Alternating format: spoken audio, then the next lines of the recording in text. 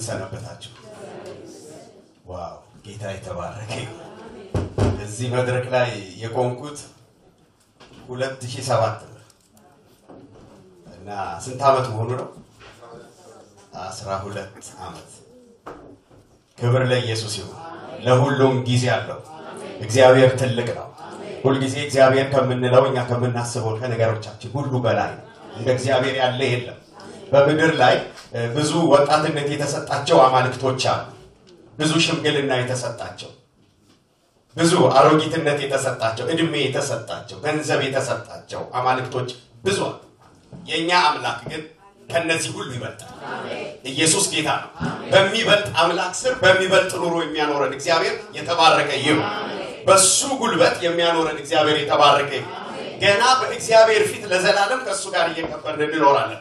የጠራን ደግሞ ሊያከብረን ነው። ስሙ ለዘላለም የተባረከ ይሁን። የእግዚአብሔር ሕዝብ በእግዚአብሔር ሕዝብ በእግዚአብሔር ጥላ ስር ስለሚኖር እንደ እግዚአብሔር ሕዝብ የተባረከ የለም። በምድር ላይ የተገፋ የተቸገረ የተጎሳቆለ የወደቀ ይመስላል እንጂ እንደናንተ የተከበረ በምድር ላይ የለም። ላይመስላችሁ ይችላል። ያላችሁበት ሁኔታ የእናንተን ትልቅነት ላይገልጽ ይችላል። ያላችሁበት ሁኔታ እናንተ የእግዚአብሔር እጅ በላያችሁ ላይ እንዳለ ላይገልጥ ይችላል። አይግለጥ እንጂ በድካም ውስጥ መሆናችሁ እንደናንተ ያለ ክቡር ህዝብ የለም። እንደናንተ ያለ ለምስጋና የተሰራ ህዝብ የለም። እንደናንተ ያለ እግዚአብሔር ዓላማው የሆነ ህዝብ የለም። ኢየሱስ ጌታ ነው። የእግዚአብሔር ዓላማ ህዝቡ ነው። ሌላ ዓላማ የለው። ነገሮችን ሁሉ ያደረገው ለህዝቡ ነው። እግዚአብሔር ዓላማው ህዝቡ ነው። እግዚአብሔር ዓላማ ብር ዓላማ የለው። የብር ዓላማ የለው። የነገሮች ዓላማ የለው። የእግዚአብሔር ዓላማ አንተ ነህ። የእግዚአብሔር ዓላማ አንቺ ነሽ። ስለዚህ ነው አንተ የእግዚአብሔር ዓላማ አንቺ የእግዚአብሔር ዓላማ ስለሆንሽ ለአንቺ የሚሆነውን ነገር እግዚአብሔር በየዕለቱ ሰራ እንጂ ነገሩ የእግዚአብሔር ዓላማ ሆኖ አይደለም። የሚያስፈልጋችሁ ነገር በሙሉ የእግዚአብሔርን ዓላማነት ልትፈጽሙ የሚያስችል ነው እንጂ ከእናንተ የሚበልጥ ነገር አይደለም። ኢየሱስ ጌታ ክብር ለኢየሱስ ይሁን። ስለዚህ የእኛ አምላክ ትልቅ ነው። የእኛ አምላክ ትልቅ ነው። እስቲ እግዚአብሔር ትልቅ ነው በሉ። እግዚአብሔር ትልቅ ነው በሉ። እግዚአብሔር ትልቅ ነው። ኢየሱስ ጌታ ነው። አንድ ነው ሲባል ስንት ነው? ሶስት ነው። ሶስት ነው ስትሉት ደግሞ ስንት ነው? አንድ ነው። እሱ ትልቅ ነው፣ አይመረመርም። አንድ ብለን ስንጠጋው ሶስት ነው። ሶስት ብለን ስንጠጋው ደግሞ አንድ ነው። በምድር ላይ ያሉ አማልክቶች ግን ሁል ጊዜ ስንት ናቸው? አንድ ናቸው። እሱ ግን ከሁሉም ይበልጣል። ቆመን እንጸልይ። ደስ እንዲላችሁ ያስፈልጋል። በሚበልጥ አምላክ ስር ስላላችሁ በሚበልጥ አምላክ ስር ስላላችሁ የተወደዳችሁ ስለሆናችሁ እግዚአብሔር ከእናንተ ጋር ስላለ ስሙ ለዘላለም የተባረከ ሃሌሉያ። ብዙ አልናገርም፣ አጭር ማስታወሻ ነው የምሰጣችሁ። የመጣሁት ላስታውሳችሁ ነው። ማታውቁትን ነገር ላመጣ አይደለም፣ ላስታውሳችሁ ነው የመጣሁት። ስለዚህ ብዙ አልናገርም። እጆቻችሁን አንሱና ስለ እግዚአብሔር ትልቅነት አንደበቶቻችሁ ለእግዚአብሔር ይንገረው። እግዚአብሔር እሱን መስማት ይፈልጋል። አንቺ ትልቅ ነህ ስትዩ መስማት ይፈልጋል። አንተ ትልቅ ነህ ስትለው መስማት ይፈልጋል። እሱ ነው መስዋዕቱ ለእግዚአብሔር። ስለዚህ እግዚአብሔር የኔ አምላክ አንተ ትልቅ ነህ እንድትሉት ያስፈልጋል። አሁን እስቲ ትልቅ ነህ እግዚአብሔር ሆይ በሉት። አንተ ትልቅ ነህ የኔ ጌታ በሉት። አንተ ትልቅ ነህ ከሁሉም ትበልጣለህ በሉት። ክብር ለኢየሱስ ክርስቶስ ይሁን። ክብር ለኢየሱስ ክርስቶስ ይሁን። ክብር ለኢየሱስ ክርስቶስ ይሁን። ክብር ለኢየሱስ ክርስቶስ ይሁን። ክብር ለኢየሱስ ክርስቶስ ይሁን። ክብር ለኢየሱስ ክርስቶስ ይሁን። በትልቅነት ለሚገዛ ለአምላካችን ክብር ይሁን። ከኃያላን ሁሉ በልጦ ለሚኖር ለእግዚአብሔር ክብር ይሁን። ከታላላቆች ሁሉ በላይ ሆኖ ለሚኖር ለእግዚአብሔር ክብር ይሁን። በአሸናፊነት ለሚመራን ለእግዚአብሔር ክብር ይሁን። በኃይል ለሚመራን ለእግዚአብሔር ክብር ይሁን። አጠራራችንን በበጎ ነገር የጠራ በእሱ መስዋዕትነት ያቀረበን እግዚአብሔር የተባረከ ይሁን። ክብር ሁሉ ለሱ ይሁን። እግዚአብሔር ሆይ በዚህ ስላለ አመሰግንሃለሁ። ልትናገረን የምትወደው ልታስታውሰን የምትወደው ነገር ስላለ ስምህ ይባረክ። ስምህ ለዘላለም እንባርከዋለን። ቃልህን ተናገረን፣ አትከልከል። ይሄ ጉባኤ በአንተ ድምፅ ይሞላ። በጌታ በኢየሱስ ስም በአንተ ድምፅ ይሞላ። እኔም ደግሞ ህዝብህን በከንቱ እንዳልዘልፍ እርዳኝ። ጸጋህ በእኔ ላይ ይጨመር። ከንቱ ዘለፋ እንዳላመጣ፣ ከንቱ ንግግር እንዳላመጣ አንተ ባከበርከው አንተ በሰጠው ከፍታ በዚች የተሰጠችኝ ደቂቃ ላይ ህዝብህን እንዳገለግል በጌታ በኢየሱስ ክርስቶስ ስም እንድትረዳ እንድትረዳኝ እጸልያለሁ። በእኔና በህዝብህ መካከል መንፈስ ቅዱስ በኃይል ሰራተኛ ሁን። ቃሉን ወደ ህዝብህ ልብ አስገባ። አንተ ለህዝቡ እንደሚገባው አድርገህ ተናገር። ስምህ ለዘላለም ይባረክ። ጊዜውን ሰጠንህ በጌታ በኢየሱስ ስም ተቀበል።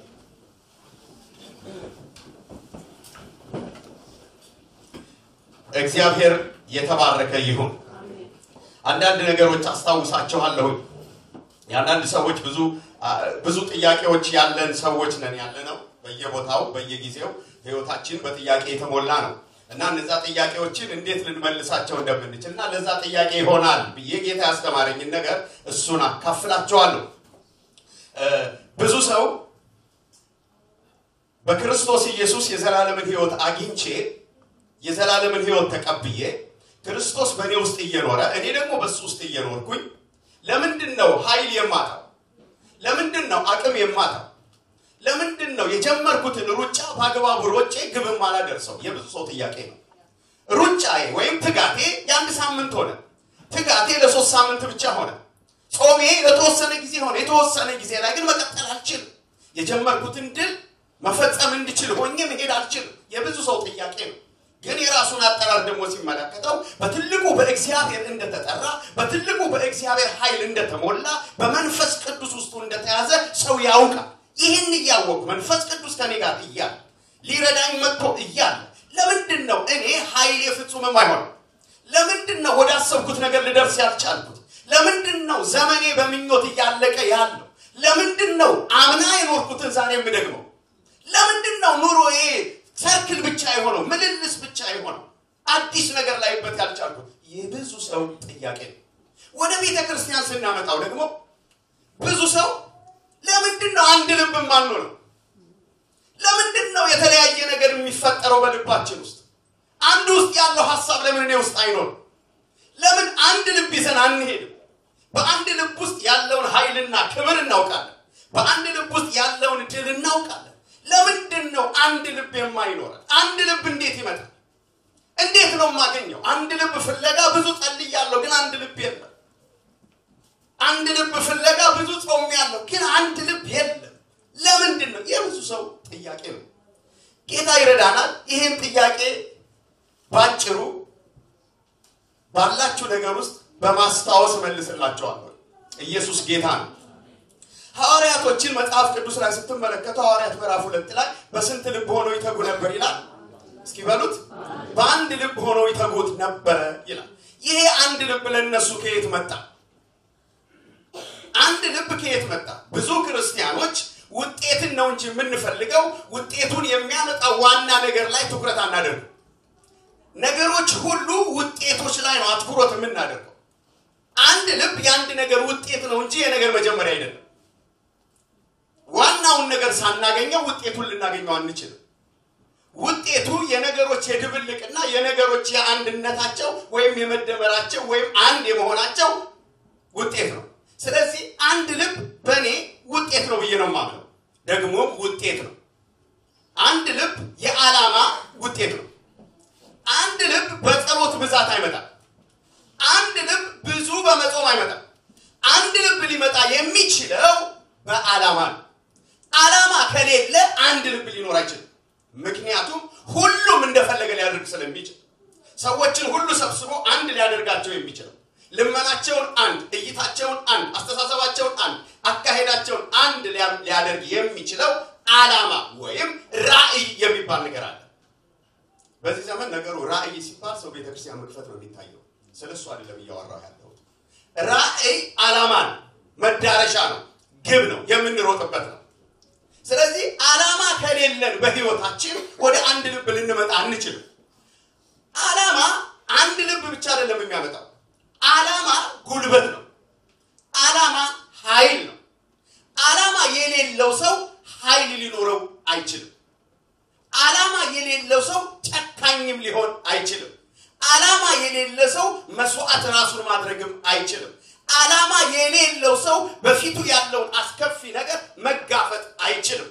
ብቃቱም አይኖረው፣ ጉልበቱም አይኖረው። ምክንያቱም መጨረሻ ላይ ሄደ ልትጋፈጥ የምትችለው ጉልበትን የሚፈጥርልህ ዓላማ ስለሆነ እግዚአብሔርም ኃይል የሚሰጠው ሊፈጸም ላለን ዓላማችን ነው። እግዚአብሔር ከአንተ ጋር ሆኖ ኃይል የሚያበዛልህ ልትደርስበት እሱ ወደሚፈልገው ነገር እንድትደርስ መንገድ ላይ ላሉ ነገሮች እንቅፋቶችን የሚያነሳበት ጉልበት በአንተ ላይ የተቀመጠው ዓላማ ጋር እንድትደርስ ነው። ዓላማ ከሌለ ኃይል እንቅስቃሴ ያደርገው። በውስጣችን ያለው ኃይል function እንዲያደርግ እንቅስቃሴ አድርጎ ወደምንደርስበት ቦታ ለመድረስ ምን ያስፈልገናል እያልኳችሁ ነው። ዓላማ፣ በግለሰብ ዓላማ፣ በቤተ ክርስቲያን ዓላማ፣ በትዳር ውስጥ ዓላማ፣ በሰዎች ህብረት ውስጥ ዓላማ። ዓላማ ከሌለ አንድ ልብ የለም። ሐዋርያቶች ምዕራፍ ሁለት ሐዋርያ ሥራ ምዕራፍ ሁለት ላይ አንድ ልብ የነበራቸው ይተጉበት የነበረው አንድ ዓላማ ስለነበራቸው ያም ዓላማ ጌታ ኢየሱስ ክርስቶስ ሰጥቷቸው የሄደ ዓላማ ነው። ሁሉም የሚጮሁት ሰላሳ አይነት ጩኸት የለም። ምክንያቱም ኢየሱስ ያላቸውን ነው የሚጮሁት። ምን ብሏቸው ነበር? ኃይልን እስክትቀበሉ ከኢየሩሳሌም አትውጡ። የነበራቸው የዛ ቤት ውስጥ ጸሎት፣ የዛ ቤት ውስጥ የአንድ ልብ ሁኔታ ኃይል መቀበል ነው። ስለዚህ እግዚአብሔርን የሚሉት ኃይል ነው ከተሰጣቸው ነገር በፊታቸው ከሚናፍቁት ነገር የተነሳ ሁሌ የሚለምኑት እግዚአብሔርን ኃይል ስለነበረ ሁሉም በአንድነት ይጮሁበት የነበረው አንድ ዓላማ ስለነበረ ኃይል የሚል ጩኸት ነው የሚጮሁት። ስለዚህ መጽሐፍ ቅዱስ ሲጽፍላቸው ሁሉም በአንድ ልብ ይተጉ ነበር። አንድ ልብ፣ አንድ መንፈስ ነበራቸው። አንድ ልብና አንድ መንፈስ የሚያደርገው ሰው ዓላማ ሲኖረው ብቻ ነው። ዓላማ ከሌለ ሰው አንድ ልብ መሆን አይችልም። ዓላማ የነገሮች ጉልበት ነው። ዓላማ የነገሮች ኃይል ነው። ዓላማ ነገሮችን ቀርጾ የሚይዝ ነው። ዓላማ ሰው ስፍራውን ለቆ መረን እንዳይሆን የሚከለክል ነው። መጽሐፍ ቅዱስ ሲነገር መጽሐፈ ምሳሌ ምዕራፍ 29 ቁጥር 18 ላይ ምን ይላል? ራእይ ባይኖር ህዝብ መረን ይወጣል። ራእይ ባይኖር ራእይ ከሌለ ህዝብ ሁሉ ምንድን ነው የሚሆነው? መረን ይሆናል። መሰብሰብ አይችልም። አንድ ላይ መሆን አይችልም። መጋደል አይችልም። መረን መሆን ማለት ምን ማለት ነው? መረን መሆን ማለት የተነሳበትን ትቶ ወዳልተነሳበት ነገር የሚሄድ በሀገራችን አባባል ሁሉ አመረሽን ገበያ አታውጧል። ሽንኩርት ልትገዛ ወጣ፣ ተመልሳ ምን ትሆናለች? ስኳር ስታገኝ ስኳሩን ገዝታ ሽንኩርቱን ትታው ትመለሳለች። መረንነት ያመጣል ራእይ ከሌለ። ግን ደግሞ ይህንን ነገር አስተውሉ። ራእይ ያለው ሁሉ ግብ ይኖረዋል፣ ግብ ይደርሳል ማለት አይደለም። ዋናው ሀሳቤ እዚህ ላይ ነው። ራእይ ያለው ሁሉ ግብ አለው። ራእይ ያለው ሁሉ ግን ግቡ ላይ ደርስ ይችላል። ራእይ ያለው ግብ አለው፣ ፍጻሜውን ያውቃል፣ መዳረሻውን ያውቃል። ግን ራእይ ስላለው ሁሉ ግብ አይደርስም። ሁለት አይነት ሰዎች አሉ በዚህ ነገር ላይ ሁለት አይነት ሰዎች አሉ። አንደኛው አንደኛው ሰው ራእዩን የሚመራ ሰው ራእዩን የሚመራ ሰው ይጀምራል እንጂ አይጨርስም። ራእይ የሚመራ ሰው ጀማሪ ነው እንጂ ወደ ፍጻሜ አይመጣም። ምክንያቱም ራእዩን አስከትሎ የሚሄድ ማንነት ስላለ። ራእዩን የሚመራ ሰው ሁል ጊዜ አማራጭ መንገዶችን የሚጠቀም ነው። መድረስ በሚገባው ጊዜ አይደርስም። በህይወታችን የጀመርነውን ጉዞ ወደ ፍጻሜ ለማምጣት ራእያችንን የምንመራ ከሆነ አቋራጭ መንገዶችን እየጠቀምን እየተጠቀምን መንገዳችንን እናረዝማለን እንጂ መድረስ ወደሚገባ ነገር አንደርስም። እግዚአብሔር የሚፈልገው ራእይ ያለው ሰው ሊሆነው የሚፈልገው ግን እግዚአብሔር የሚወደው ራእዩን የሚመራ ሰው ሳይሆን በራእዩ የሚመራ ሰው እግዚአብሔር ይፈልጋል። በራእዩ የሚመራ ራእዩን ከሚመራ ይልቅ በራእዩ የሚመራ ሰው ድል አለው። ራእዩን ከሚመራ ይልቅ በራእዩ የሚመራ ሰው የነፍስ ጭካኔ አለው። ራእዩን ከሚመራ ሰው ይልቅ በራእዩ የሚመራ ሰው እሳት ውስጥ አልፎ የመሄድ ብቃት አለው። ምክንያቱም ራእይ የሚባለው ነገር ራሱ ዓላማ ጨካኝ ነው በጣም ጨካኝ ነው የሚያደርገው። እኔ ሰባ ሰባት ዓመተ ምህረት ብሔራዊ ውትድርና ነበርኩኝ ከወሰን ጋር ማለት ነው እና ሲና አልዘመትኩም። ወደ ጦር ሜዳ ውጊያ ላይ አልገባሁም። ማሰልጠኛ ነው የቀረሁት። ግን አንድ ነገር ስለነበረው ጦርነት ሲናገሩ ሰማለሁ እና በጣም ይገርመኛል። ሊዋጉ ጦርነቱ ተከፍቶ እየተዋጉ መጥቶ ፈንጂ ወረዳ የሚባል ቦታ እዛ ፈንጂ ወረዳ ላይ ሲደርሱ ሁሉም ይቆማሉ። የኢትዮጵያ መንግስት ጦር ነው ፈንጂ ወረዳውን ያደረገው፣ የደርግ ወታደር ማለት ነው። እና ተዋጊዎቹ እነዚህኞቹ ይመጡና ልክ እዛ ሲደርሱ ይቆማሉ። ማን ነው የሚያሳልፈን ይባላል። የሚያሳልፈን ማለት ተበጣጥሶ ነው፣ ሞቶ ነው፣ ፈንጁ ላይ ተንከባሎ ነው። ማን ነው የሚያሳልፈን ይባላል። የመጡት በሙሉ የሚጨቃጨቁበት በጦርነት ሜዳቸው ላይ ረብሻ የሚፈጥረው እኔ ላሳልፋችሁ በሚል ነው። እከሌ የሚባል ነገር የለም። ሁሉም ሰላም መጥተው እየተዋጉ ድል እያደረጉ መጥተው ጭቅጭቅ የሚፈጥሩት ፈንጂ ወረዳ ላይ እኔ ልሙት አንተ አትሙት፣ እኔ ተበጣጥሻ አንተ ረፍ፣ ቀጣዩን ስራ ስራ። ጉዳያቸው ሞቱና ለመሞቱ ሳይሆን የተሰጣቸው የተነሱበት መዳረሻቸው ነው። አሁን እነዚህ ሰዎች ራእያቸውን እየመሩ ሳይሆን ራእዩ ራሱ ነው የሚመራቸው። አይምሯቸውን፣ ነፍሳቸውን፣ ፈቃዳቸውን ተቆጣጥሮ ይዟል። የነፍሳቸው ፈቃድ በራእያቸው ተጽዕኖ ስር ነው ያለው። ራእያቸውን ረግጠው አልያዙ። ስለዚህ ሁልጊዜ ራእዩ አቋራጭ መንገድ አያስብ። ፈንጂ ወረዳ እያነሳ ተሸክም አዘልልህ አሳልፈው አይልም። ሞትና አለፍ ራእይ ጨካኝ ራእይ ጨካኝ ነው። ቤተ ክርስቲያን ግቧ ፍጹም እንዲሆን በራእይ የተሞሉ ሰዎችን ልታፈራ ይገባል።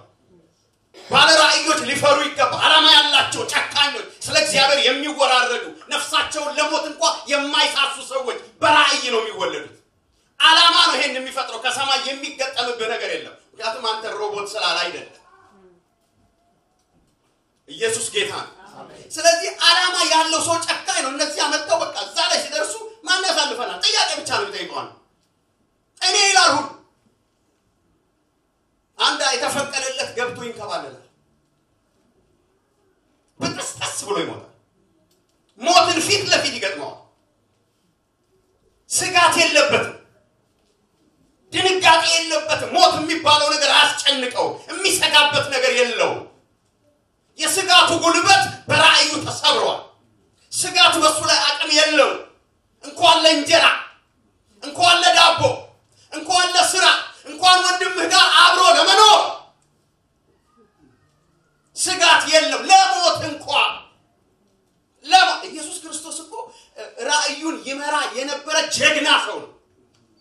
ታውቃላችሁ፣ አንድ ወቅት ላይ ስለከበደው ራእዩን መምራት ፈለገ። በራእይ መራ እየተመራ መጥቶ በዓላማ እየተመራ መጥቶ ወደ መጨረሻው ሲደርስ ከበደው። ስለዚህ ራእዩን መያዝ ፈለገ። ልክ ራእዩን መያዝ ሲፈልግ ወዲያው የተፈጠረው ነገር ምንድን ነው? ከኔ ተለፍች ሰዋል።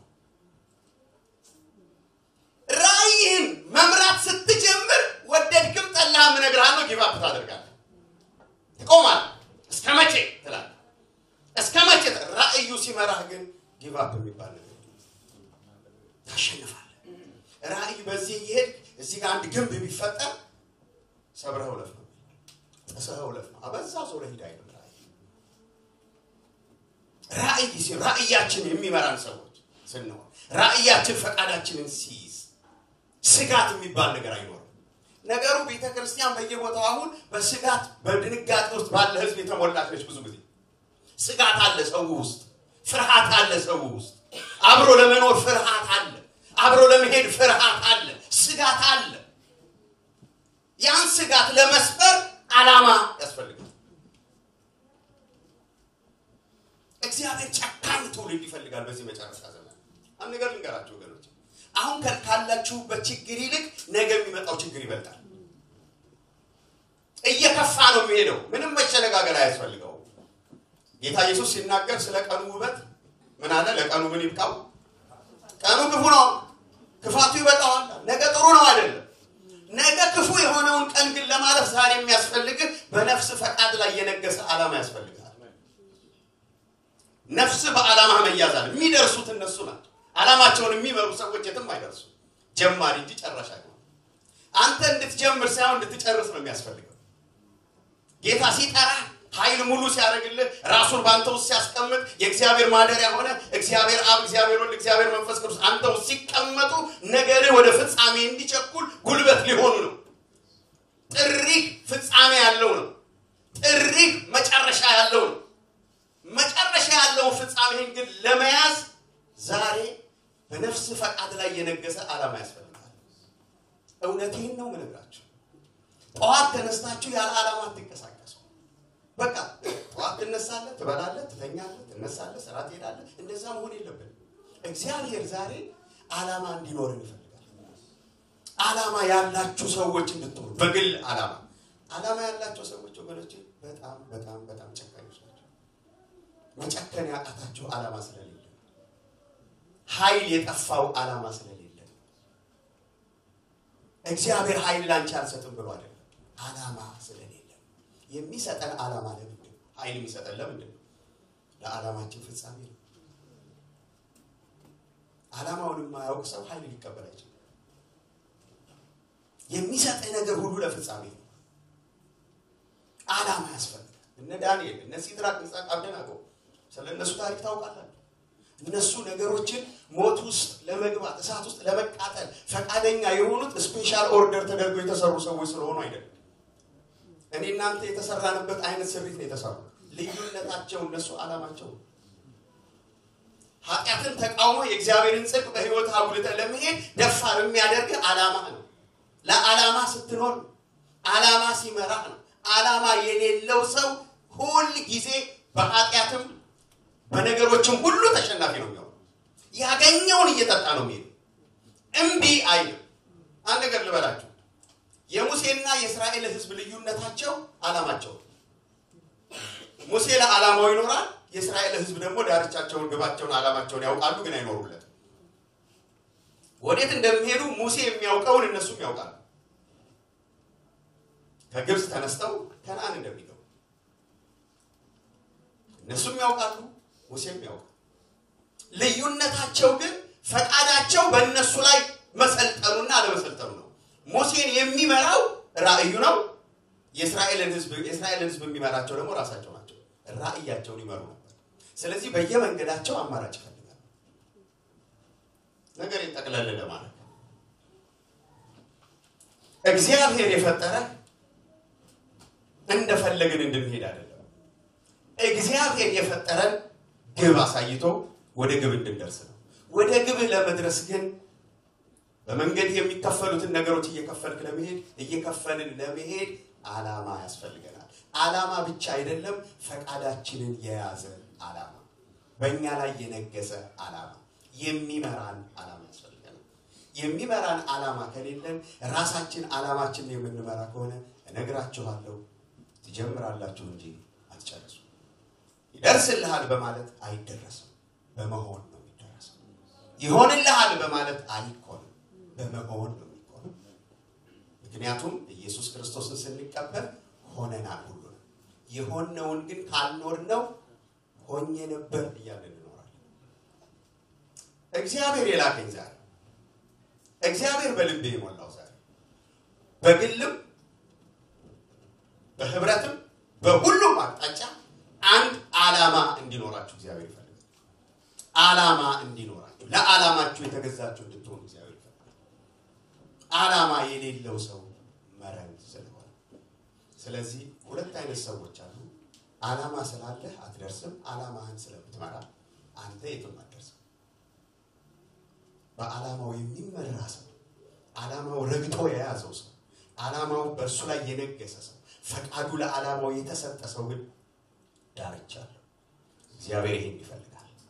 ዓላማችሁን የምትመሩ ሳትሆኑ በዓላማችሁ ኢየሩሳሌም ቤተ ክርስቲያን ዓላማዋን የምትመራ ሳይሆን በዓላማዋ የምትመራ ጨካኝ፣ ኃያል የእግዚአብሔር ክብር የሚገለጥባት የእግዚአብሔር ኃይል የሚገለጥባት እንዳሰበችው እንደዚያ የሚያደርግ በዓላማዋ የምትመራ ቤተ ክርስቲያን እንድትሆን ወይም እናንተም በዓላማችሁ እንድትመሩ እግዚአብሔር ይፈልጋል። ይህን ብቻ ነው በላይ ጌታ ዛሬ ዓላማ አላችሁ። ዓላማ እስካላችሁ ይመራችኋል ወይስ ትመሩታላችሁ? ደግመዋለሁ። ዓላማ አላችሁ። ይመራችኋል ዓላማችሁ ወይስ ዓላማችሁን ትመሩታላችሁ? ቆመን ለዚህ መልስ ለጌታ እንሰጣለን።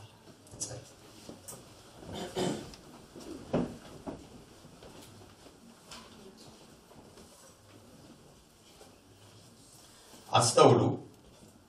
ነጋችሁ ያማረ እንዲሆን ዛሬ ዓላማ ሊኖራቸው ያስፈልጋል። የነገህ ውበት ዛሬ ላይ ነው የሚሰራው። የነገህን ውበት የምታመጣው ዛሬ ላይ በምትሰራው ዓላማ ነው። ዓላማ የሌለው ሰው የትም አይደርስም። ቤተ ክርስቲያን እግዚአብሔር በዓላማ እንድትመራ ይፈልጋል። መሪዎች እግዚአብሔር በዓላማችሁ እንድትመሩ ይፈልጋል። የእግዚአብሔር ሕዝብ በሙሉ በዓላማችሁ እንድትመሩ ይፈልጋል። ዓላማህን እወቅ፣ ዓላማህ ይምራህ፣ በአንተ ላይ ይንገስብህ። ያን ጊዜ አሰብከው ቦታ ትደርሳለህ። እግዚአብሔር እንዳሰበልህ ሜዳ ላይ እንድትቀሪ ሜዳ ላይ እንድትቆም አልተጠራህም። የተጠራኸው ጥግ ሊያደርስህ ነው። እግዚአብሔር ጥግ እንዳትደርስ የከለከለህ አቅም ስለቀማ ሳይሆን ዓላማ ስለማይመራ ነው። እንጸልያለን።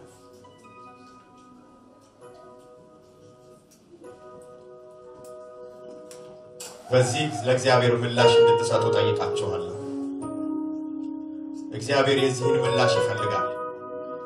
ዛሬ እግዚአብሔር ዓላማችሁ እንዲገዛችሁ በዓላማችሁ እንድትመሩ ካስታወሳችሁ እናንተም ደግሞ ከዚህ በኋላ ጌታ ሆይ የሰጠኸኝ ዓላማ እንዲመራኝ እፈቅዳለሁ እንድትሉት ጌታ ይፈልጋል።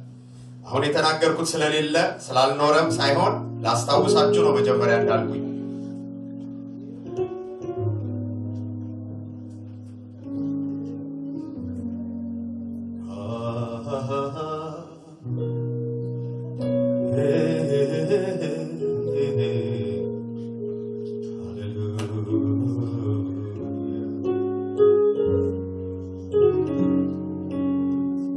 መልሱ ለእግዚአብሔር። እኔ ዛሬ ዓላማዬ እንዲመራኝ እፈልጋለሁ በሉት።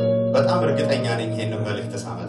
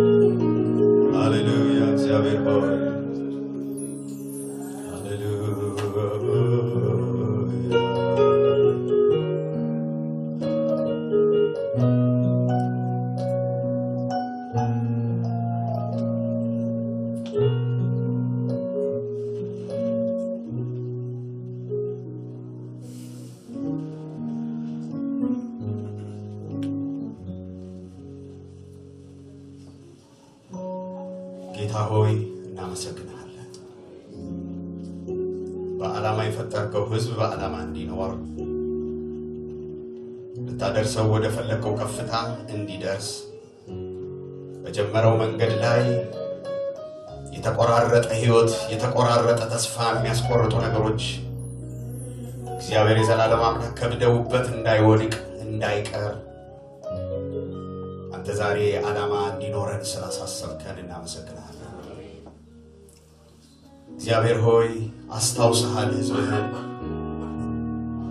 ዓላማውን እንዲያነሳ በዓላማው እንዲመራ ዓላማ ባለመምራት በዓላማው ባለመመራቱ በየመንገዱ አቅም እያጣ እንዳለ።